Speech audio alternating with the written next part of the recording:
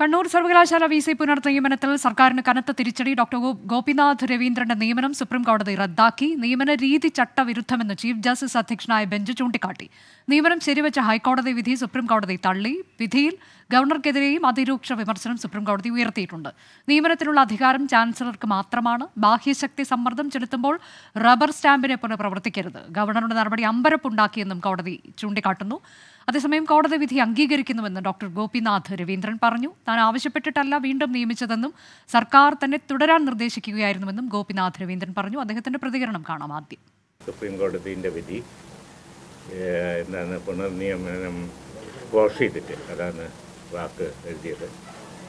അപ്പോൾ അത് അംഗീകരിക്കണം നാളെ ഞാൻ എന്റെ സ്ഥിര ജോലിയിൽ ഡൽഹിയിൽ ജോയിൻ ചെയ്യും.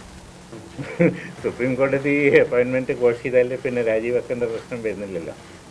അല്ല എന്റെ രണ്ടായിരത്തി ഇരുപത്തൊന്നിൽ ഇരുപത്തിമൂന്നാം തീയതിയാണ് എന്റെ ഒന്നാമത്തെ ടേം കഴിഞ്ഞത്. അന്നാണ് റീ അപ്പോയിൻമെന്റിന്റെ എഴുത്ത് വന്നത്. അപ്പം ഞാൻ ആവശ്യപ്പെട്ടിട്ടല്ലല്ലോ റീ അപ്പോയിൻമെന്റ് നടത്തിയത്. ആർ രാധാകൃഷ്ണൻ വിശദാംശങ്ങളുമായി. ആർ കെ ഇതിൽ പുനർനിയമനം നടത്തുന്നതിൽ തെറ്റില്ല. അങ്ങനെയുള്ള ചില സാഹചര്യത്തിൽ ആ വ്യക്തി അത്ര മികച്ച വൈസ് ചാൻസലർ ആണെങ്കിൽ അത്തരത്തിലൊരു പുനർനിയമനത്തിലേക്ക് പോകുന്നതിൽ തെറ്റില്ല എന്ന് കോടതി ചൂണ്ടിക്കാട്ടുമ്പോൾ പോലും ഈ നിയമന രീതി ചട്ടവിരുദ്ധമാണ് എന്നതുകൊണ്ട് കോടതി ഉദ്ദേശിക്കുന്നത് എന്താണ്? ഇവിടെ ബാഹ്യ സമ്മർദ്ദം എന്നുള്ളത് ആ പോയിന്റ് തന്നെയാണോ? കോടതി ഏറ്റവും പ്രധാനമായി എടുത്തുയർത്തിക്കാട്ടുന്നതും. 对。തീർച്ചയായിട്ടുമാണ് അനുജ. അനുജ ഇന്നലെ ഇന്നലത്തെ കോടതിയുടെ വിധിയിൽ കോടതി പറഞ്ഞിരിക്കുന്നത് അതായത് നിയമസഭയും മന്ത്രിസഭയും അവരാണ് പരമാധികാരം എന്നതിനെ അംഗീകരിക്കുന്ന വിധത്തിൽ തന്നെയാണ് ഇപ്പോൾ ഈ വിധിയെ നമുക്ക് പറയാനായിട്ട് സാധിക്കുക. കാരണം ഈ വിധത്തിലൊരു തീരുമാനം എടുത്താൽ അതുമായി ബന്ധപ്പെട്ടിട്ടുള്ള വിഷയങ്ങളെ ഒരു മുൻവിധിയോടും കൂടി തങ്ങൾ സമീപിക്കുന്നില്ല. പക്ഷേ ആരാണ് നിയമനാധികാരി ഈ വിഷയത്തിൽ എന്ന കാര്യം പ്രധാനപ്പെട്ടതാകുന്നു. അത് ഗവർണറാണ്. അങ്ങനെയുള്ള ഒരു സാഹചര്യത്തിൽ നിയമനാധികാരിയെ സമ്മർദ്ദത്തിലാക്കാനായിട്ട് ഒരു വിധത്തിലും ആർക്കും അനുവാദമില്ല. അഥവാ അങ്ങനെ ആരെങ്കിലും ശ്രമിച്ചാൽ അതിന് വഴിപ്പെടരുത് അങ്ങനെ വഴിപ്പെടുന്ന ഒരു റബ്ബർ സ്റ്റാമ്പ് അല്ല ചാൻസലർ എന്നാണ് സുപ്രീം കോടതി ഓർമ്മപ്പെടുത്തുന്നത്. ഇവിടുത്തെ സാഹചര്യത്തിൽ വളരെ കൃത്യമായിട്ട് സുപ്രീം കോടതി പറയുന്നു നടന്നിരിക്കുന്നത് ബാഹ്യ സമ്മർദ്ദങ്ങൾക്ക് വിധേയമായിട്ടുള്ള നിയമനമാണ്. അതുകൊണ്ട് തന്നെ മൂന്ന് മറ്റ് ചോദ്യങ്ങൾക്ക് നാല് ചോദ്യങ്ങളാണ് ആദ്യം ഉന്നയിച്ച് ആകെ ഉന്നയിച്ചത്.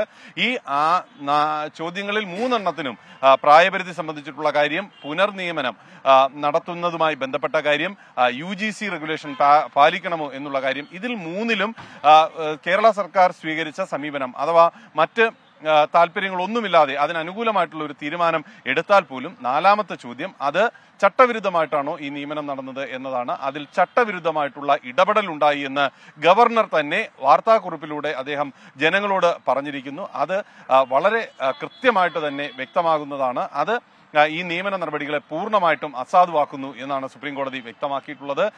വളരെ പ്രധാനപ്പെട്ട നിരീക്ഷണങ്ങൾ സുപ്രീം കോടതി ഉന്നത വിദ്യാഭ്യാസത്തിന്റെ നിലവാരവുമായി ബന്ധപ്പെട്ടിട്ട് എങ്ങനെയാണ് ചാൻസലർ പ്രവർത്തിക്കേണ്ടത് എന്നതടക്കമുള്ള കാര്യങ്ങൾ ആണ് ഈ വിധിയിൽ സുപ്രീം കോടതി വ്യക്തമാക്കുന്നത്. എഴുപത്തിരണ്ട് പേജുകളുണ്ട് ഈ വിധിക്ക്. എഴുപത്തിരണ്ട് പേജുകളിൽ സുപ്രീം കോടതി ആദ്യാവസാനം ഈ കേസിന്റെ തുടക്കം മുതൽ അവസാനം വരെയുള്ള കാര്യങ്ങളെ വളരെ കൃത്യമായിട്ട് വിവരിക്കുകയും മന്ത്രി ആർ ബിന്ദുവിന്റെ കത്തടക്കം ഈ ഉത്തരവിന്റെ ഭാഗമായി ഉൾപ്പെടുത്തുകയും ചെയ്യുന്ന വിധത്തിലാണ് സുപ്രീം കോടതി ഉത്തരവ് ഇപ്പോൾ പുറത്ത് വിട്ടിട്ടുള്ളത്.